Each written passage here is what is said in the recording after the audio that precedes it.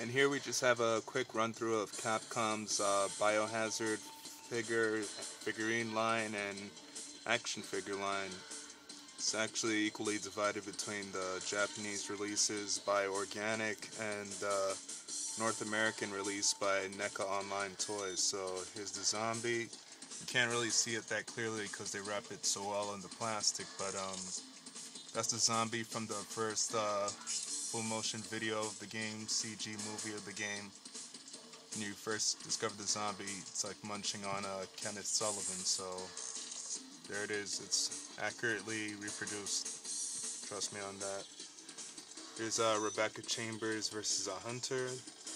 Another scene. Part 6 right there. Chris Redfield versus Yawn.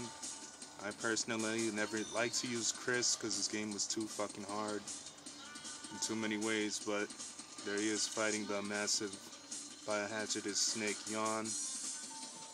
Then you have Jill Valentine versus the Chimera, very self-explanatory during the final lab scene of the game. And this one I think is very well detailed. This is from the NECA toy line from the Western audience. This uh, lab coat zombie. Is for the 10th anniversary of Resident Evil, as it states on the box. Comes with a severed hand and a crow. And there's a tremendous amount of detail in that. Then you have the infamous Tyrant. He's severed at the legs because he'd be almost too big to package together. But as it states, he's almost 10 feet tall. A lot of great detail. You can see his exposed heart right there.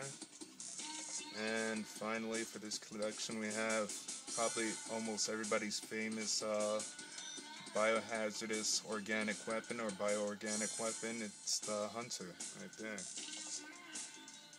And it looks about just as menacing as he does in the GameCube remake of the game. So there you have it. Basically, uh, yeah, three figures from the North America NECA Online Toys, and uh, about four out of the, think, a total of probably seven or eight in the organic figurine sculpts. So that's it.